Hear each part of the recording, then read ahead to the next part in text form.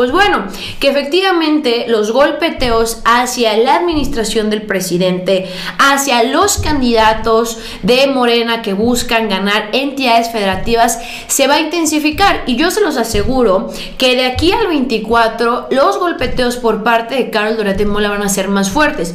Si ustedes se meten a sus videos van a ver que no hay video donde Carlos Dorete Mola no saque al hermano de López Obrador. Yo me pregunto, pues así como saca al hermano de López Obrador, ¿Por qué no habla de lo de Alito? ¿Por qué no habla de lo de Lorenzo Córdoba? Al final, Lorenzo Córdoba se lleva más lana que la que supuestamente quiere argumentar en los videos que ha sacado del hermano de López Obrador.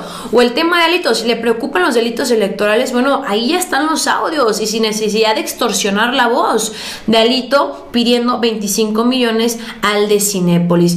El presidente habla que el Reforma también está detrás de todos estos ataques que vimos que también, pues, trajo a este eh, Derbez para hacer una entrevista, o sea, en un medio de política traerse a Derbez y diciendo Derbez que él podría ser un auténtico líder de oposición de López Obrador. Bueno, pues aquí el presidente habla de que siguen los golpeteos y que ahora le quieren sacar, que la hija de su secretario particular tiene una casa en Houston como tipo este el hijo del presidente, la casa es de 8 millones de pesos pero ya lo hemos hablado. Las casas no valen lo mismo, la vida no cuesta igual en Estados Unidos que en México, cuando por Dios, la esposa de Rubén Moreira, más de 40 millones de pesos, una casa en la Ciudad de México y una señora que toda la vida ha sido servidora pública.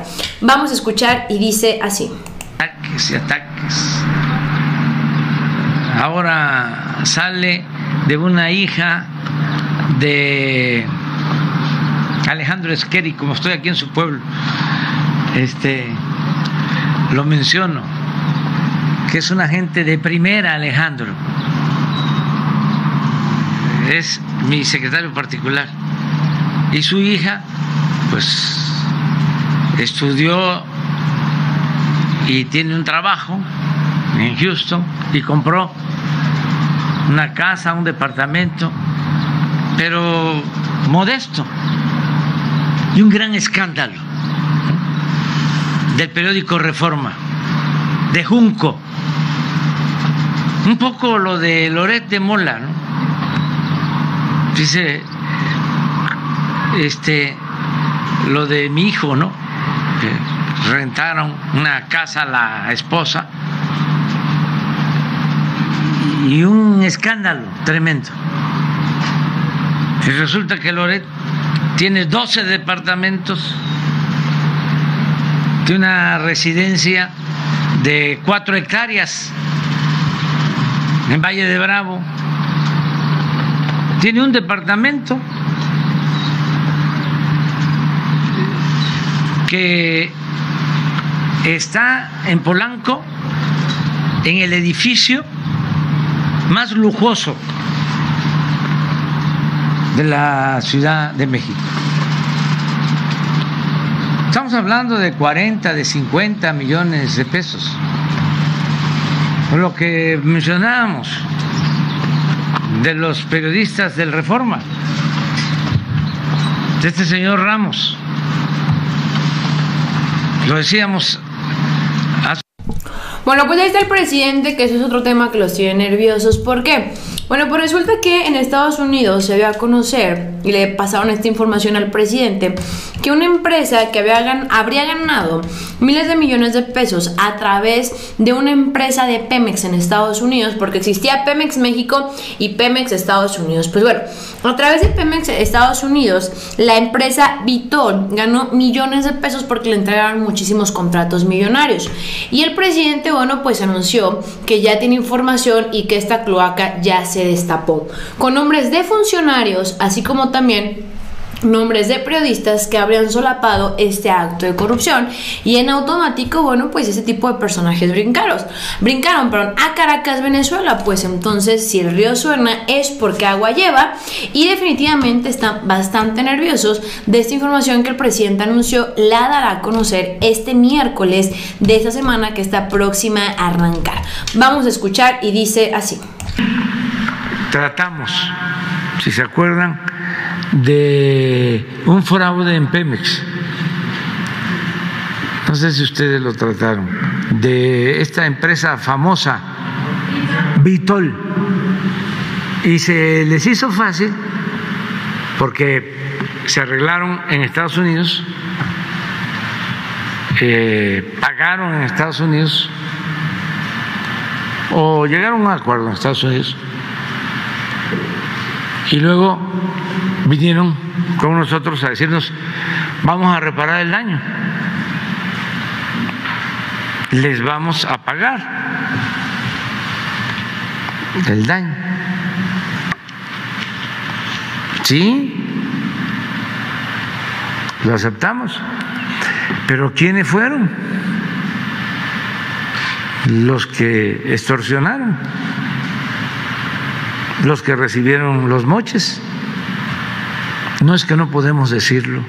Ah, pues entonces no. Y les tengo una buena noticia.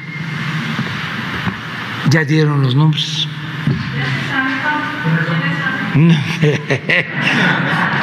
Todavía hasta ayer me enteré. Este, ni, ni, ni podría decirles porque no, nomás vi. Ya dieron los nombres.